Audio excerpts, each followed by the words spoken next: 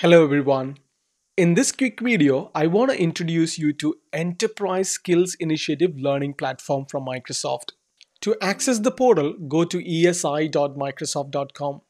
To log in and access the portal, your enterprise organization need to have a collaboration with Microsoft to provide you access to this portal.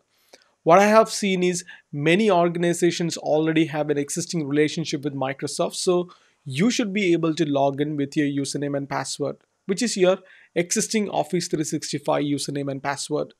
So if you are in this portal for the first time, register yourself to sign in. So I just signed in with my organization's username and password. So on the top right hand corner, you can see various options within this portal. The first one is Microsoft Learn. So many of you are already aware of what Microsoft Learn is. It's a learning platform from Microsoft where you can get a short, crisp content and videos to learn about particular topic.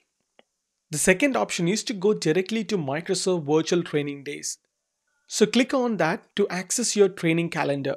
On the left hand side, you can pick the specific role you would like to attend the training for. So based on your selections, you can find different trainings available from the virtual training day. These trainings not only give you that one day training on that specific topic, it can give you an examination voucher if you attend these trainings. So there are varieties of trainings available within Microsoft Virtual Training Day, not only the fundamental certifications training. The third option within this portal is Microsoft delivered courses. This is where trainings are delivered by Microsoft experts and these trainings are in-depth and involve lot of hands-on trainings. Most of the trainings are scheduled for one or one to five days. So one thing to watch out here is if you have registered for one of the Microsoft led training and if you don't show up, you might not get seat next time when you try to register.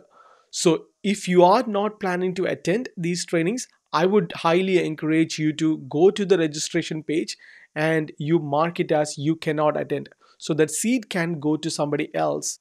Another option within this portal is learning partner trainings. This is where third party learning partners can host their own training. By going into this particular portal, you will be able to get discounted rates on these third party trainings. The next very important option within this portal is exam preparation. So think of these sessions are like a cram sessions just before your examination.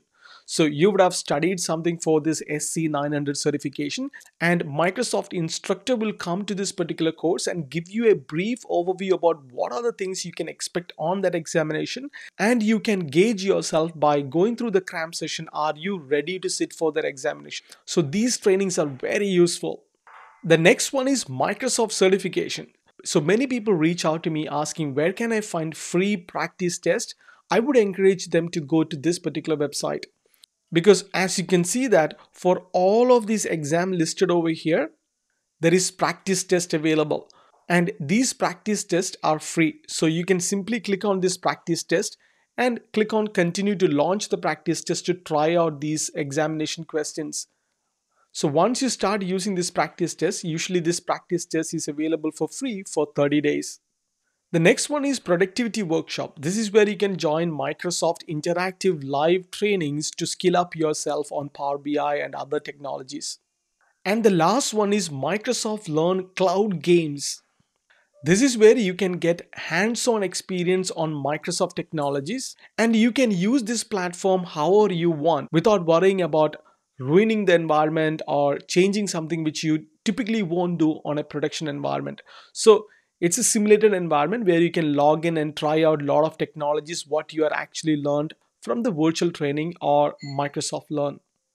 Another cool tip is first time when you register for this ESI initiative, you can specify what sort of a role you are planning to learn. So I put down solutions architect. So all the curated list of trainings available for a solutions architect will be displayed on my homepage. Similarly, if you're starting with fundamentals, you can mention that. So you get the curated list of fundamentals training when you launch this website. I hope the information provided in this quick video was helpful. I will see you on the next one. Until then, take care.